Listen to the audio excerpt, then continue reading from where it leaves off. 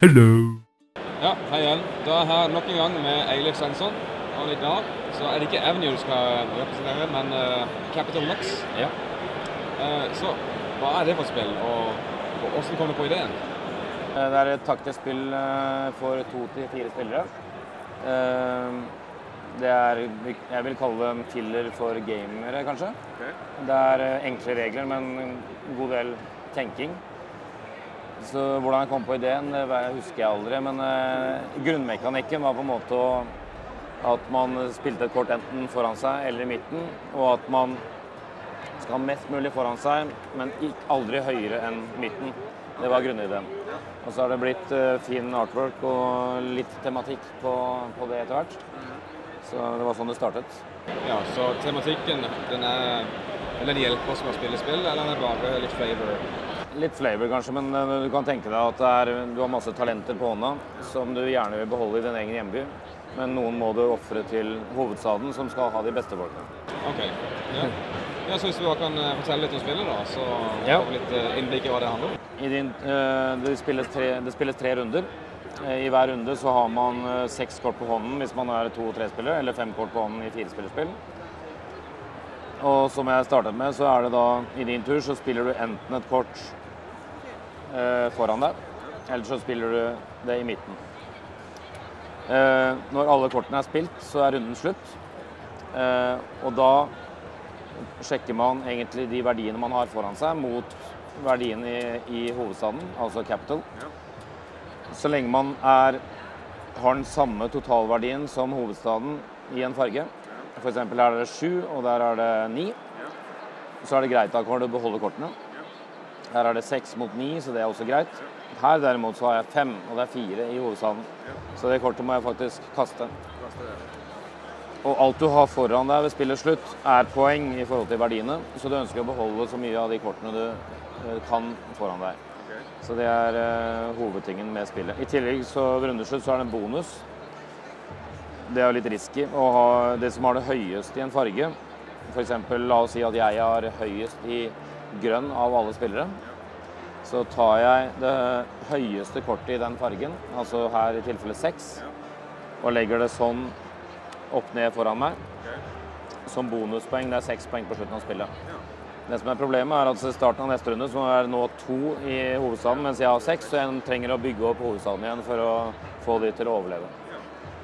Eh, I tillegg så er det noen spesialegenskaper i midten av bordet. Når man spiller kort foran seg, så skjer det ingenting. Det er bare potensielle seierspoeng. Når man spiller kort i midten av bordet, så er det ulike spesialegenskaper. Hvis man spiller et blått kort, så kan man trekke noe vi kaller for eh, modifier-kort på engelsk i hvert fall. De har eh, plussverdier og minusverdier. Man trekker det øverste kortet, ser på det hemmelig og legger det over en av fargene sånn, for å påvirke totalverdien i den fargen på slutten av runden. Hvis man spiller et eh, gult kort i midten av, eh, i midten av bordet, så tar man en sånn en. Et gull, gullbar, og den kan man bruke på en av sine egne farger i eh, hjembyen for å redusere i dette tilfellet Skal vi se, hvor var det kortet? hen? Det husker jeg ikke. Men der, kanskje. Hvis det hadde vært tilfellet ved rundeslutt, så kunne jeg brukt én sånn for å redusere den med én.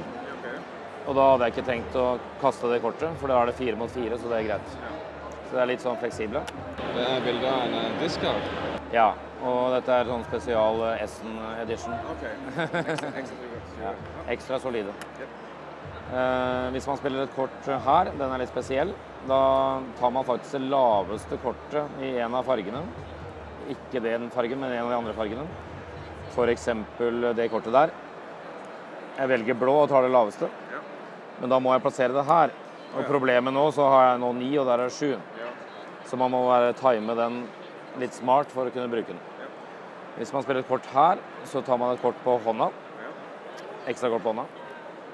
Det er bra, for da får du mer valg og mulige seierspoeng. Men runden slutter når én spiller er tom for kort, og da får alle andre spillere én ekstra tur. Og hvis du har igjen kort på hånda, så må du spille foran deg. Og det er litt, det er litt risikofylt. Alle sammen? De man eventuelt har igjen til slutt, ja.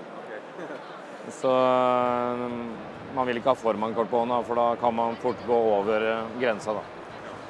Etter tredje runden så teller man rett og slett opp eh, poengene man har her, i tillegg til bonuspoengene man har fått underveis, og den som har mest poeng, vinner. Ja, så det er veldig hvor langt før det går, på en måte, før Ja, Ja, så timing er viktig, sier jeg jo.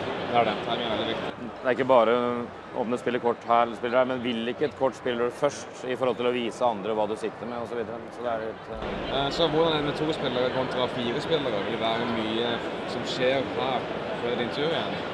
Det skalerer bra. Eh, Det er I tospillerspill og i trespillerspill så setter du med seks kort på hånda hver. I firespillerspill med fem spillere.